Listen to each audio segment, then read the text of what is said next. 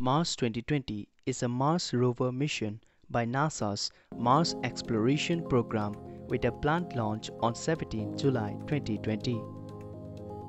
It will touch down in the Jezero crater on Mars 18 February 2021. It will investigate an astrobiologically relevant ancient environment on Mars and investigate its surface geological processes and history. It will also include assessment of its past habitability, the possibility of past life on Mars, and the potential for preservation of biosignatures within accessible geological materials. It will also catchy sample containers along its route for a potential future Mars sample return mission.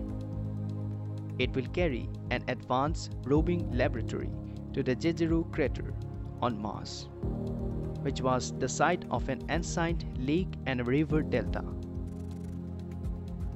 Mars 2020 estimated cost through the prime mission is 2.46 billion. The dimensions are 3 meters long, 2.7 meters wide and 2.2 meters tall. The robotic arm is 2.1 meters long and it has a mass of 1050 kg. It also consists a zoomable camera system with panoramic and stereoscopic imaging capability.